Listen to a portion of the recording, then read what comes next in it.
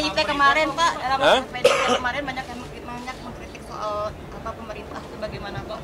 Saya kira itu adalah internal partai, jadi internal PD Perjuangan. Saya tidak akan mengomentari.